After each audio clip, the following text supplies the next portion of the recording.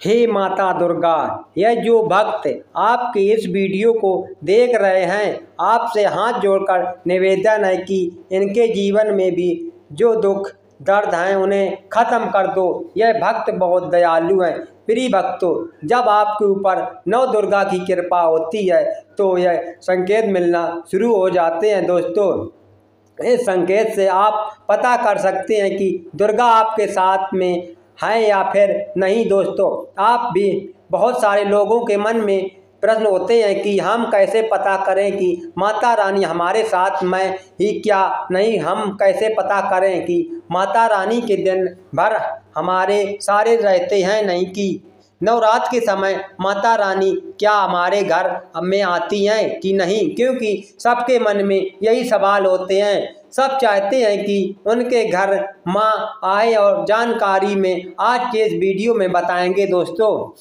बड़ा मूर्ख होगा, बड़ा अज्ञानी होगा, ऐसे व्यक्ति जो इस ज्ञान को प्राप्त नहीं करेंगे। आज के इस प्रकार के अमूल ज्ञान को कोई लाखों करोड़ों रुपए खर्च करने पर भी इस प्रकार का ज्ञान नहीं बताएगा।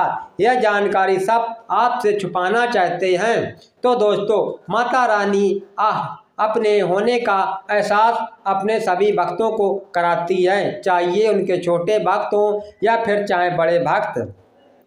अपने सभी भक्तों को माता रानी अपने होने का एहसास सभी को कराती हैं, क्योंकि माता रानी परम शक्ति और परम देवी है। माता रानी नवरात्र के पूरे दिन अपने सभी भक्तों के साथ सूक्ष्म रूप एवं ऊर्जा रूप में रहती हैं। सख्त रूप रहती है।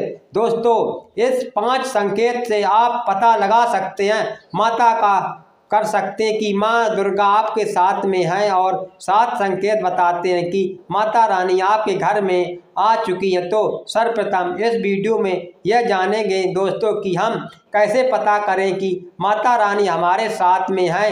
इसके बाद इस वीडियो में यह भी जानेंगे कि किस संकेत से माता करें। कि माता रानी हमारे घर में आ चुकी हैं। तो दोस्तों, अगर माता रानी हमारे साथ में होती हैं तो इस प्रकार के पाँच संकेत मिलते हैं। कौन कौन से संकेत? आइए थोड़ा सा वीडियो को ध्यान से सुनिए। अगर आप भी चाहते हैं कि माता रानी आपकी सभी मनोकामना को पूर्ण करे तो दोस्तों, कमेंट बॉक्स में ज़रूर लिखना। जय माता दी। आपका हमारे घर में स्वागत है। तो आइए जानते हैं उन विशेष संकेतों को जो तो जब माता रानी आपके साथ होती हैं तो यह पाँच संकेत मिले हैं आपको पूजा के दौरान आँसू आने लगे। वैसे दोस्तों, हम डेली की पूजा करते लेकिन आँसू नहीं निकले लेकिन नवरात्र के समय जब आप पूजा करें और आँसू आने लगे तो समझ जाना माता रानी आपके साथ में हैं।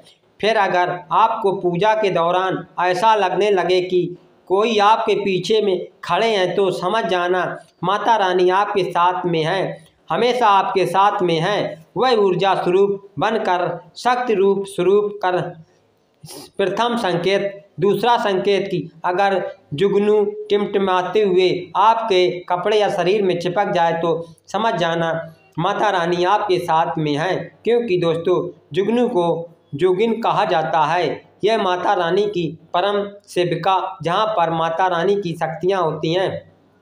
ऊर्जा स्वरूप होती है, वहाँ पर जाकर स्वतः ही चिपक जाते हैं। तो आपके साथ में माता रानी रहेगी तो आपके शरीर में स्वतः ऊर्जा, सख्त जागृत हो जाएगी। तो यह जाकर ज़बरदस्ती चिपक, चिपकने लगते हैं। यह दूसरा संकेत है।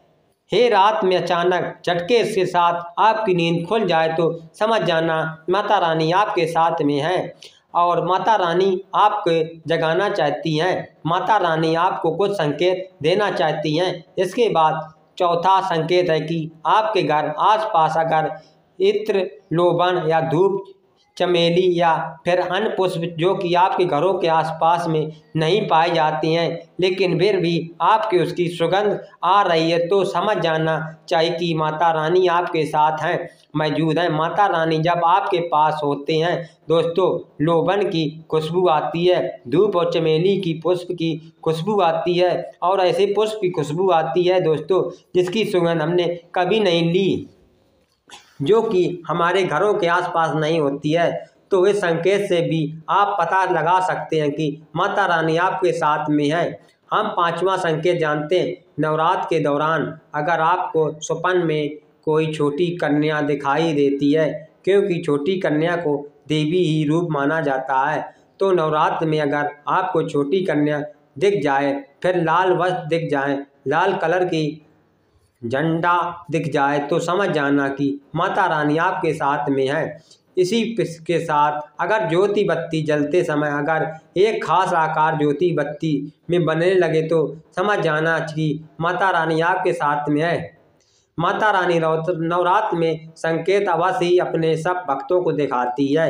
यह तो अभी आपने जान लिया कि माता रानी साथ हैं तो यह संकेत मिलते हैं, लेकिन अभी हम यह जानेंगे कि तब कौन से संकेत मिलते हैं जब माता रानी हमारे घर में विराजमान हो चुकी हैं, तब कैसे पहचानेंगे?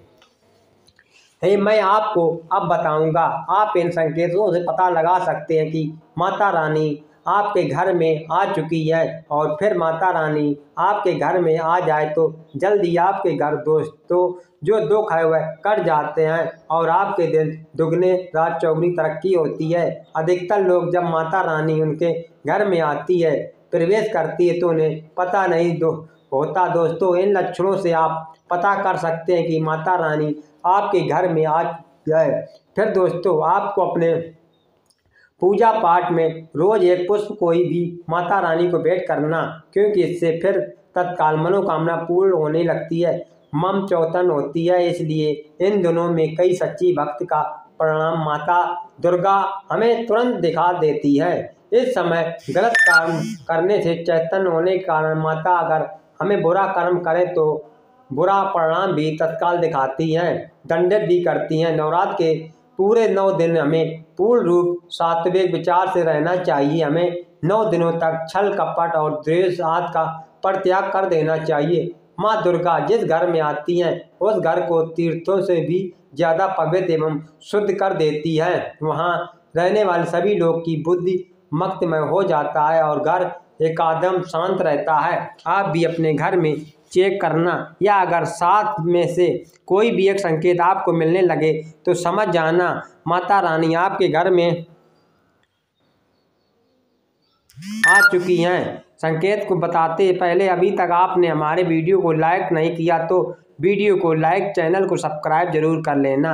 राजफल का ज्ञान चैनल का मकसद, जानिए जन कल्याण करना। कई बार माता रानी हमारे घर में ही प्रवेश कर विराजमान हो जाती हैं, लेकिन हम अपनी ही मूर्खता के कारण इसे पहचान नहीं पाते हैं। माता रानी के लिए कुछ नहीं कर पाते, जबकि जब भी माता रानी प्रवेश करे तो आप अपनी मनोकामना शीघ्र पूरी करवा सकते हैं। तो इन संकेतों को समझ लेते हैं। इन सब बारे में विस्तार से बताएँगे कौन कौन सी फल फल फिर प्राप्त होते हैं। अगर आप माता रानी के सच्चे भक्त हैं तो वीडियो को ध्यान से सुनिए। इसमें आपको बड़े काम की बात बता चले। अगर बार बार आपके घर में गौ माता का आना, जिस घर में माँ दुर्गा रहती है, उस घर में उनकी बहन काम धेनु उनकी सेवा के लिए, उनकी दर्शन के लिए बार बार घर के द्वार पर बिल्कुल ही आती है और यह घर के इर्द गिर्द घूमती रहती है, वहाँ से नौ दिनों तक नहीं भागती। तो समझ जाना कि माता रानी आपके घर में आ चुकी है। दूसरा संकेत, मधुमक्खी के घर में आना? देखिए, मधुमक्खी को माँ दुर्गा की ब्राह्मणी स्वरूप कहे गए जिस घर में नवरात्र में मधुमक्खी आती है तो समझ जाना उस घर में माता रानी आ चुकी है। क्योंकि जो मधुमक्खी यहाँ पर माँ दुर्गा के स्वरूप कहे गए और वो अपने पूर्ण स्वरूप के दर्शन के लिए, अर्थात नव दुर्गा के दर्शन के लिए सेवका बनकर आती हैं तो समझ जाना आपके घर में माना दुर्गा आ चुके हैं। तीसरा संकेत ज्योति का तीव्र रूप में जलना। जी हाँ अगर आपने अपने घर में माता रानी की प्रसन्नता के लिए भक्त प्राप्त करने के लिए ज्योति स्थापित करके रखे, अगर ज्योति की लव तीव्र गति से जल रही है तो समझ जाना ज्योति की समय स्वयं माता रानी खड़ी है और आपको भी आत्मा से माता रानी होने का एहसास होगा। तो इस संकेत से भी माता कर सकते हैं कि माता रानी आपके घर में आ चुकी है, क्योंकि जब भी ज्योति की लीप प्रचंड रूप में जलने लगे तो वह इसलिए जलती है क्योंकि माता रानी और उनकी ऊर्जा ज्योति की लव बढ़ जाती है। चौथ संकेत, नवरात्र में दीपक की बत्ती फूल का बनाना। अगर आपकी दीपक की बत्ती में अचानक से फूल बनने लगे तो समझ जाना नव दुर्गा माता आपके ऊपर बहुत प्रसन्न है। आपके ऊपर वह पूर्ण रूप से कृपा बरसा रही है और माता रानी आपके घर में आ चुकी है। अब आपको सभी कष्टों को दूर करके माता रानी इस लोक से फिर जाएगी, अर्थात आपके घर से जाएगी। पांचवा संकेत बताते हैं कि बार बार घर में आकर काले चीटी निकलने लगे। अगर काले चीटी समूह में भर से निकल रही हो और रास्ता काट रही हो तो समझ जाना माता रानी आ चुकी है। छठवां संकेत, अचानक जैसा कोई सुगंध आने लगे तीव्र सुगंध आने लगे। ठंडी हवा चलने लगे तो समझ जाना। माता रानी आ चुकी है और अपने होने का एहसास आपको करा रही है। तो इस संकेत से भी पता कर सकते माता रानी आपके घर में आ चुकी है। सातवां संकेत, फटे कपड़े पहने अगर कोई याचक आ जाए तो समझ जाना माता रानी के, आपके द्वारा याचक बनकर आ गई चुकी है। नवरात्र में कोई याचक आए तो खाली हाथ मत भेजाने देना, क्योंकि स्वयं माता रानी परीक्षा लेने के हमारे घर में याचक बनकर आ जाती हैं तो यह सात संकेत बताती है। माता रानी आपके घर में आ चुकी हैं और आपसे काफ़ी प्रसन्न है। लेकिन दोस्तों, चलिए जाने लेते हैं कि जब माता आपके घर में जाए तो कौन कौन सी गलतियाँ नहीं करनी चाहिए? नवरात्र के नौ दिनों तक बिस्तर पर सोने से बचना चाहिए। जो लोग व्रत रखते हैं, उन्हें बिस्तर पर नहीं सोना चाहिए। नवरात्र में यदि व्रत रखते हैं तो बिस्तर पर ना सोएँ। बल्कि ज़मीन पर सोएँ नवरात्र में शुद्ध और सात्विक भोजन ही करना चाहिए। इस दौरान तामसिक भोजन, प्याज, लहसुन, मांस, मदरा, शराब आदि का सेवन करना गलत है, इसलिए इससे बचकर नवरात्र में रोज़ाना कम से कम एक कन्या और श्रद्धा भाव से भोजन कराएँ और अष्टमी और नवमी के दिन छोटी कन्याओं को यानी नौ कन्याओं को भोजन कराना चाहिए। नवरात्र में किसी भी महिला का अपमान न करें, चाहे आपकी माँ या बहन, पत्नी या कोई भी दूसरी स्त्री हो, सभी का सम्मान करें। आप व्रत शब्दों का प्रयोग भी ना करें। नवरात्र के दौरान बाल और नाखून नहीं काटना चाहिए। खासकर जो लोग नवरात्र का व्रत रखते हैं, वह इस नियम का विशेष ख्याल रखें। माँ दुर्गा आपसे किसी बात का लेकर रुष्ट हो सकती है। नवरात्र में किसी से भी झूठ ना बोलें और ना ही किसी को गाली दें। सत्य बोलें और सभी के प्रति दया, भाव रखें। साथ ही आपको सलाह है कि नवरात्र के दौरान गुस्सा करने से बचें। मित्रों, इस वीडियो में बस इतना ही। हम मिलेंगे किसी नए और ख़ास जानकारी के साथ। जय माता दी।